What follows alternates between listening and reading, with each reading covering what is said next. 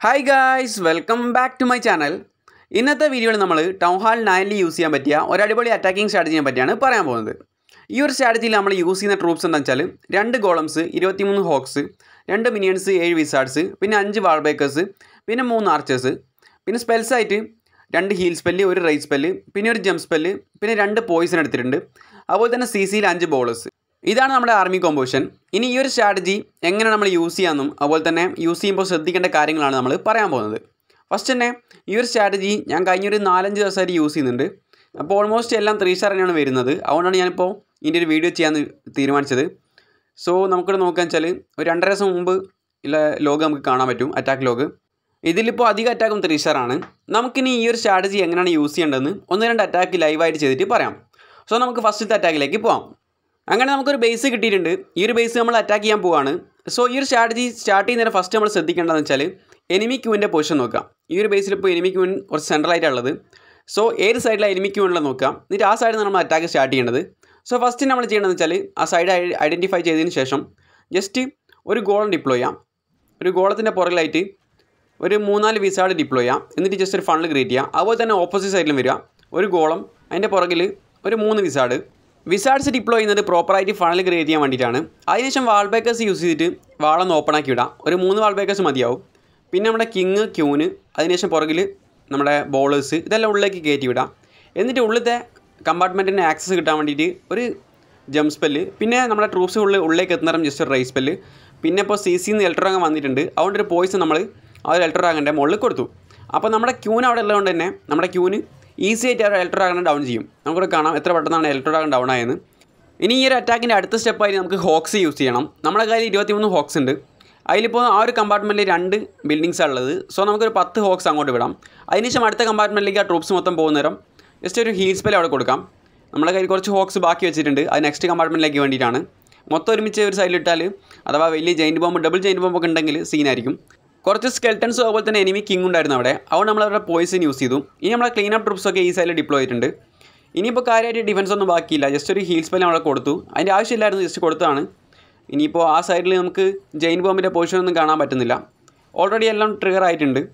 അങ്ങനെ അവസാനം നമുക്ക് ആ ഒരു ആർച്ചർ അവരോട് കിട്ടി. അങ്ങനെ ബേസിലെ ഡിഫൻസ് മൊത്തം ഡൗൺ ആയി.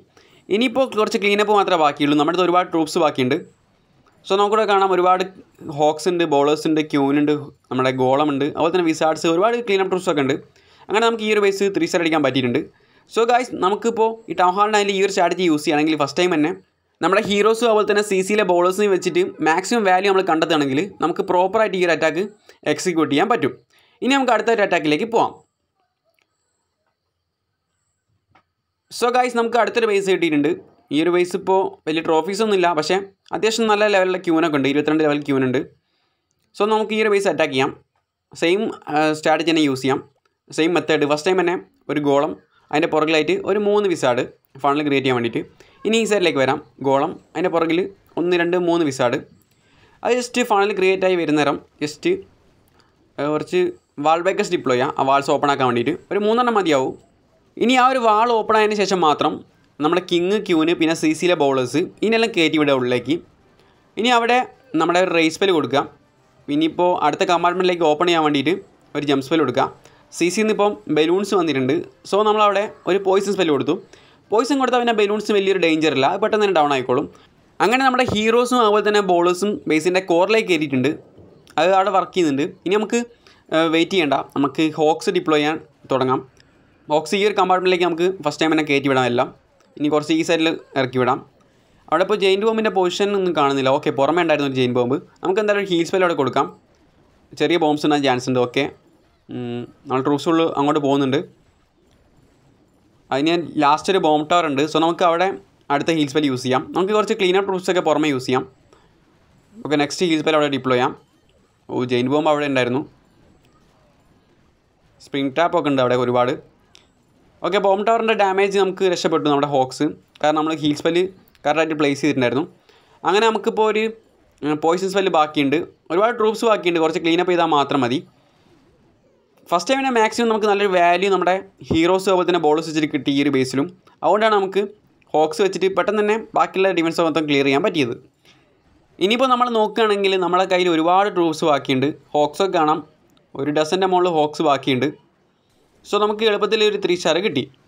ഇനി നമുക്ക് ഒരു അറ്റാക്ക് കൂടി ചെയ്യണം. എന്നിട്ട് ഈ ഒരു സ്ട്രാറ്റജി കുറച്ചൊരു വർക്കിംഗ് ആണെന്ന് ജസ്റ്റ് നമുക്ക് പ്രൂവ് ചെയ്യണം. സോ ഗൈസ് നമുക്കിപ്പോൾ അടുത്തൊരു ബേസ് കിട്ടിയിട്ടുണ്ട്. ഈ ഒരു ബേസിൽ ഇപ്പോൾ എനിമി ക്യൂൻ ആ സൈഡിലുണ്ട് സി സി യു സെൻട്രലാണുള്ളത് ടൗൺ ഹാൾ ആ സൈഡിലുള്ളത് സോ നമുക്ക് ഈ സൈഡിൽ നിന്ന് സ്റ്റാർട്ട് ചെയ്യാം. ക്യൂനുള്ള സൈഡിൽ നിന്ന് ആ ഒരു കമ്പാർട്ട്മെന്റിൽ നിന്ന് ഫസ്റ്റ് തന്നെ നമുക്ക് ഒരു ഗോളം സെലക്ട് ചെയ്യാം. എന്നിട്ട് ഈ ഒരു ആർമി ക്യാമിനെ ഡിപ്ലോ ചെയ്യാം.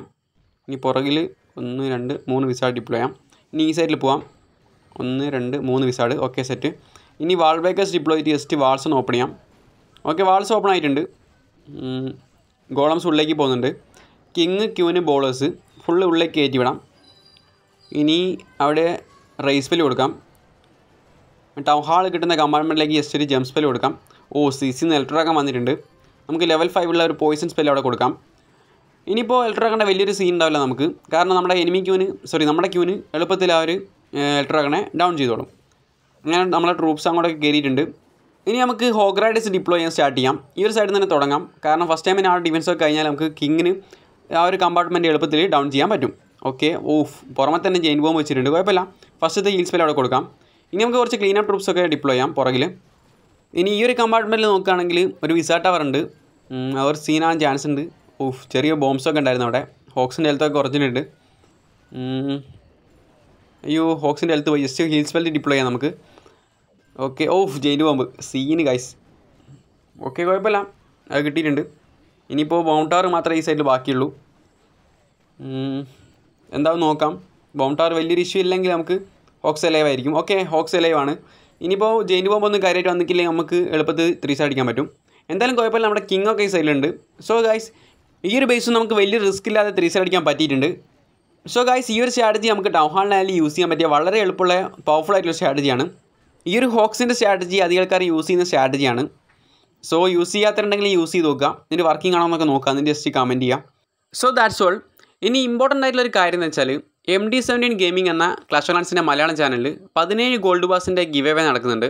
അധികം ആളുകളും ആ ഒരു ഗിവ് അവനെ പറ്റി അറിഞ്ഞിട്ടില്ല. സോ ആ ഒരു ഗിവ് അവേന്റെ വീഡിയോന്റെ ലിങ്ക് ഞാൻ ഡിസ്ക്രിപ്ഷനിൽ കൊടുക്കാം. എന്നിട്ട് ജസ്റ്റ് എല്ലാം ചെക്ക് ചെയ്ത് നോക്കുക. എന്നിട്ട് റൂൾസൊക്കെ ജസ്റ്റ് ഒന്ന് ഫോളോ ചെയ്യാം. എന്നിട്ട് ആ ഒരു ഗിവ് വേയിൽ പാർട്ടിസിപ്പേറ്റ് ചെയ്യുക എന്നിട്ട് വിൻ ചെയ്യാം. സോ ദാറ്റ്സ് ഓൾ ഗൈസ് വീഡിയോയിൽ ഇത്രയേ ഉള്ളൂ. വീഡിയോ ഇഷ്ടപ്പെട്ടെങ്കിൽ ലൈക്ക് ചെയ്യുക ചാനൽ സബ്സ്ക്രൈബ് ചെയ്യാം ക്ലാഷ് ഒറാൻസിന്റെ കൂടുതൽ വീഡിയോസ് ആയിട്ട് നമുക്ക് വീണ്ടും കാണാം.